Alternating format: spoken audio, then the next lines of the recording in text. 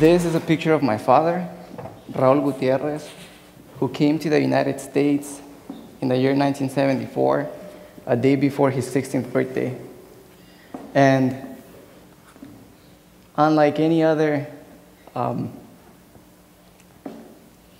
person that comes to a country full of freedom, he didn't come to celebrate his birthday.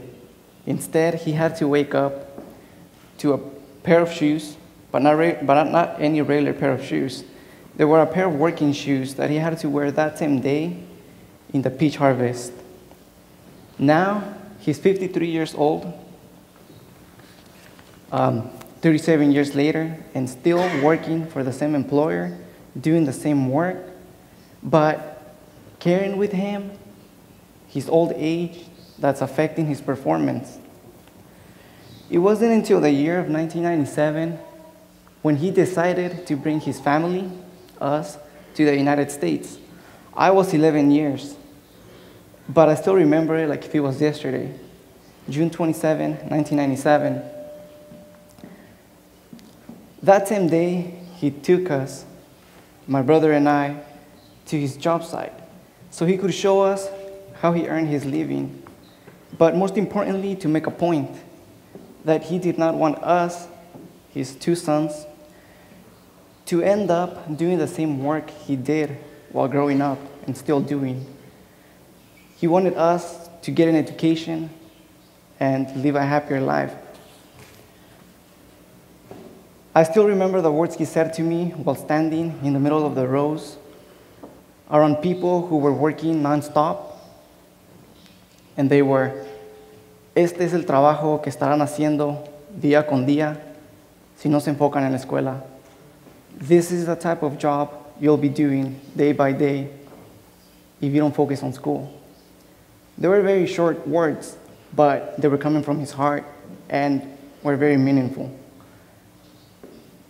Even though I understood my father's point, I decided to work side by side along with him every summer until, my, until I decided to come to college. And I made this decision because I wanted to contribute to my household.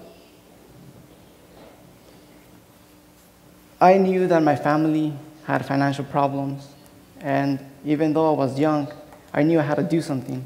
So I had to put myself out there, work, do the same work my dad did, and help with the very little that I could.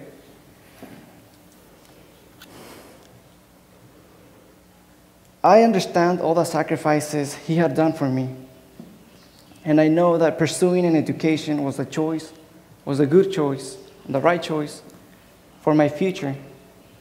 But I also knew that with a higher education was the solution to my father's way of life. And this motivated me to do good in school and I ended up graduating on the top class of my high school.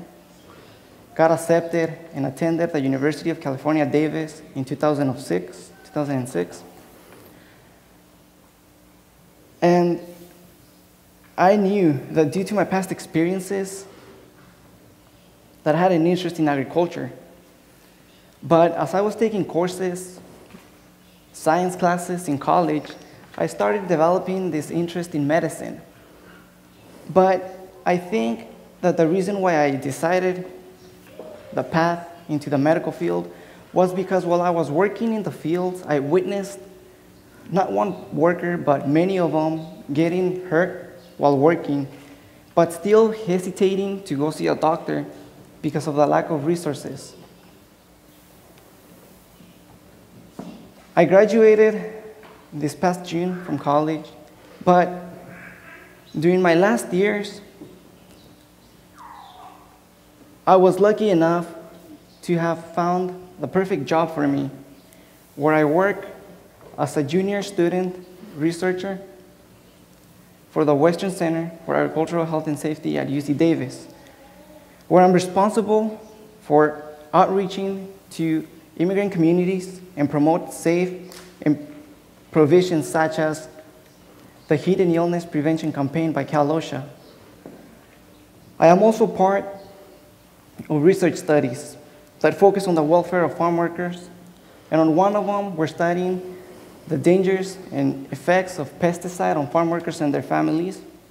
And on the other one, I'm helping to make a plan to build a weight transfer equipment that will transfer the weight put on a worker's back while lifting heavy objects and transfer it to their legs.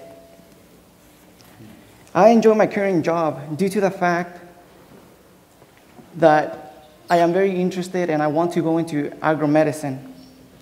This is because there are many problem areas in the agricultural which require health professional resources to identify those causes and ways to prevent them. My goal is to be part of this and help farm workers, my family, their families, myself, live a happier and healthier life. To wrap things up, I just want to thank everyone, and I would like to say that the one that should be standing here giving this presentation is not me.